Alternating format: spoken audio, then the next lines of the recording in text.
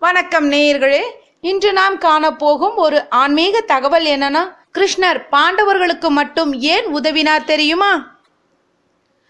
மகாபாரத யுத்தம் தொடங்குவதற்கு பாண்டவர்களுக்கும் கௌரவர்களும் ஆயத்தமானார்கள். கௌரவர்களின் அரசனான துரியோதனன் தன்னுடைய நட்பு நாட்டு மன்னர்களுக்கு எல்லாம் தூது அனுப்பி தன்னுடைய படையின் வலிமையை பெருக்கிக் கொண்டிருந்தான். இரண்டு சாரருமே கிருஷ்ணனின் துணையை நாட வேண்டும் என்று தீர்மானித்தார்கள். துவாரகை மன்னனான கிருஷ்ணரிடம் இருக்கும் பெரும் படை தனக்கு துணையாக வந்தால் நமக்கே வெற்றி நிச்சயம் என்று கூறினான் துரியோதனன். சகுனி மாமாவும் இதனை ஆமோதித்தார். ஆனால் பாண்டவர்களின் நண்பனாக இருக்கும் கிருஷ்ணன் அவர்களுக்கு உதவாமல் நமக்கு உதவுவார்களா என்று ஒரு சந்தேகத்தை கிளப்பிவிட்டார் சகுனி. ஆனாலும் துரியோதனன் தானே சென்று கிருஷ்ணனின் படையை கேட்பதாக கூறி புறப்பட்டார். இதே நோக்கத்தோடு துவாரகையை நோக்கி வந்து சேர்ந்தான் அர்ஜுனன். ஆனால் முதலில் அரண்மனையை அணுகியவன் துரியோதனன். வாயிலில் நின்ற காவலர் துரியோதனனை எந்த தடையும் சொல்லாமல் உள்ளே அனுமதித்தார். மன்னர் எவர் வந்தாலும் உடனே உள்ளே அனுமதிக்க வேண்டும் என்று கண்ணன் கட்டளையிட்டிருந்ததே இதற்கு காரணம். மன்னன் என்ற அகந்தையோடு உள்ளே கம்பீரமாக நுழைந்தான் துரியோதனன். உள்ளே மஞ்சத்தில் சயனத்தில் இருந்தார் ஸ்ரீகிருஷ்ணர் கண்களை மூடி படுத்திருந்தவரின் காலருகே ஒரு ஆசனமும் அவருடைய தலையருகே ஒரு ஆசனமும் இருந்தது. முதலில் காலருகே இருந்த ஆசனத்தில் அமரச் சென்றான் துரியோதனன். சற்றே சிந்தித்தான். இவனோ மாடு மேய்த்தவன். இன்று அரசனாக உள்ளான். இவனுடைய காலடியில் மன்னனான நான் அமர்வதா என்று நினைத்தான். உடனே தன்னுடைய எண்ணத்தை மாற்றிக்கொண்டு தலைமாட்டில் இருந்த ஆசனத்தில் சென்று அமர்ந்து கொண்டான். கண்ணன் கண்களை திறப்பதற்காக காத்திருந்தார். சற்று நேரத்திற்கெல்லாம் அர்ஜுனன் அங்கு வந்து சேர்ந்தான். துரியோதனன் தனக்கு முன்பாகவே அங்கு அமர்ந்திருப்பதை பார்த்து திகைத்தான். முதலில் வந்த துரியோதனன் கண்ணனிடம் தான் கேட்க நினைத்ததை கேட்டுவிட்டால் என்ன செய்வது என்று திகைத்தான் அர்ஜுனன். ஆனாலும் நம்பிக்கையோடு இரு கரம் கூப்பி கண்ணனின் காலடியில் நின்று கொண்டிருந்தார். சற்றென்று அப்பொழுதுதான் விழிப்பவன் போல ஸ்ரீகிருஷ்ணர் கண்களை திறந்து மகிழ்ச்சி குரலில் வா வா அர்ஜுனா நலமா? உன்னுடைய அன்னை குந்தி தேவியார் நலமா? என்று கேட்டபடி எழுந்தமர்ந்தார் படுத்தவனின் கண்களுக்கு அவர் எழுந்ததும் முன்னே இருப்பவர்தானே கண்களில் படுவார். அந்த வகையில் தன்னுடைய காலடியில் நின்றிருந்த அர்ஜுனனை பார்த்து கேட்டார் ஸ்ரீகிருஷ்ணர். அதே சமயம் குரலை கனைத்துக் கொண்டு தானும் அங்கிருப்பதை அறிவித்தான் துரியோதனன்.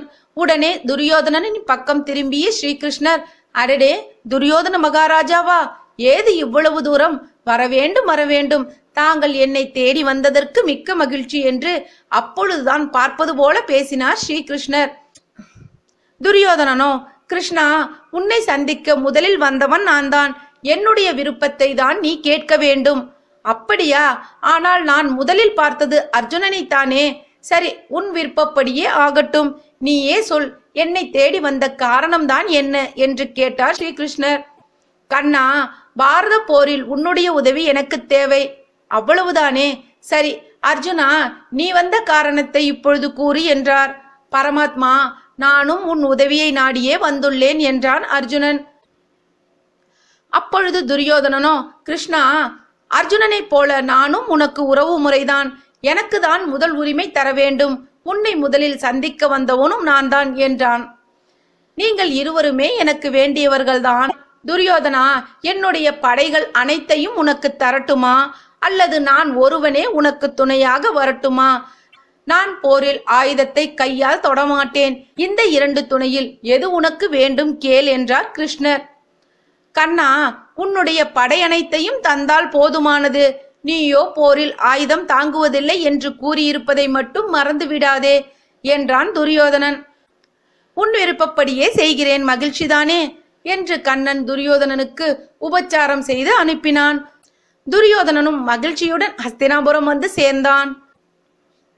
அதன் பின் தன்னுடைய நண்பனும் மைத்துனனும் ஆன அர்ஜுனனிடம் அர்ஜுனா போரில் ஆயுதம் எடுக்காத நான் உனக்கு துணையாக வருவது உனக்கு மகிழ்ச்சியா? இதை நீ விரும்புகிறாயா? என்று கேட்டார் ஸ்ரீகிருஷ்ணர். பரந்தாமா நீ எங்களுக்கு துணையாக இருந்தாலே போதும். உன்னுடைய துணை ஒன்றிருந்தால் நாங்கள் வெற்றி பெறுவது உறுதி. எங்கே துரியோதனன் உன்னை தனக்கு துணையாக கேட்டு விடுவானோ என்று நான் அஞ்சினேன். நல்ல வேளை அவன் உன்னை கேட்காமல் படையை மட்டுமே கேட்டான் என்றான் அர்ஜுனன். பின்னர் மகாபாரத போரில் ஸ்ரீகிருஷ்ணர் பாரதியாக இருந்து ஒவ்வொரு சந்தர்ப்பத்திலும் அர்ஜுனனை காத்து வந்தார் கிருஷ்ணர். போர் பதினெட்டு நாட்கள் நடந்தது. எல்லா பகைவனையும் முறியெடுத்த பாண்டவர்கள் வெற்றி பெற்று தருமன் மீண்டும் அஸ்தினாபுரத்திற்கு அரசனாக முடிசூட்டிக் கொண்டான். என்ன நேர்களே இப்பொழுது புரிந்திருக்குமே கிருஷ்ணன் பாண்டவர்களுக்கு உதவி செய்ய அர்ஜுனனின் பணிவே இந்த வெற்றிக்கு காரணம் என்று? மேலும் இது போன்ற ஆன்மீக தகவல்களுக்கு எங்களோட சேனலை சப்ஸ்கிரைப் பண்ணுங்க பிடிச்சிருந்தா லைக் பண்ணுங்க ரொம்ப பிடிச்சிருந்தா ஷேர் பண்ணுங்க. உங்க கமெண்ட்ஸை எங்களுக்கு மறக்காம போஸ்ட் பண்ணுங்க. நன்றி நேயர்களே